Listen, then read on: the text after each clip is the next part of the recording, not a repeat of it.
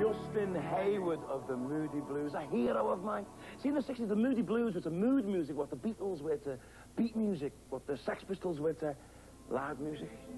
Why do you call yourself the Moody Blues? Actually, it was originally called the M&B 5. Uh, it was named after a brewery in the Midlands called Mitchell and Butlers, and then it was because we were, well, the band was originally a blues band, so that's where the blues came in. And then Moody was an expression that people used to use. It, it didn't mean bad-tempered like in the 60s. It meant, you know, cool and a bit of a moody guy. Yeah. Do you have to be in a certain mood when you're writing songs and things?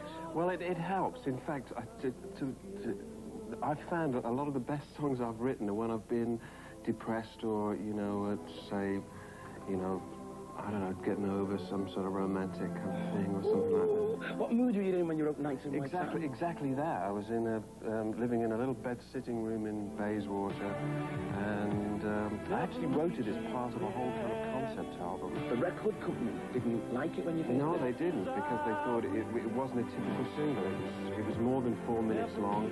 They said, oh, it's got that boring flute bit in the middle and everything. and and the, the mood, like we're talking about mood, and the mood was set by the very first word, which is nights. And in fact, we, we just call it nights in the band. And, and then the record company said, uh, you know, that's such a downer, you know. But, uh, I like you a lot, you know that, but I'm still going to give you a hard time, not just Okay, Like, you joined the Moody Blues in 1966. Yeah. That is nearly 25 years. Don't All you feel like all old and wrinkled? Daddy-o. Makes you old but bit deaf. oh, stop it. On a, se- Alan, on a serious note, what are you going to be doing in the next 25 years? What sort of music are you going to play then? rock and roll. Rock and roll. Yeah, I don't know how to do anything. I never had a proper job. Simple as that. I just want to be a moody blue. A deep, gravelly voice. Seems like the music reads mood.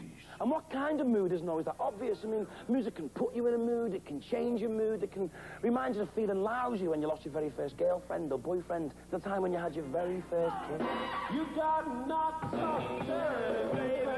If you wanna impress me,